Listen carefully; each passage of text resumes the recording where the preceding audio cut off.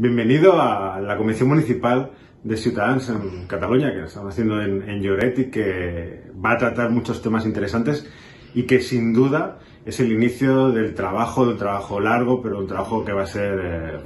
fructífero y, y, va a ser muy intenso hasta las municipales de, de mayo del 2023. Así que nos vemos eh, estos dos días en, en Lloret y, y, y ánimo y adelante, compañera.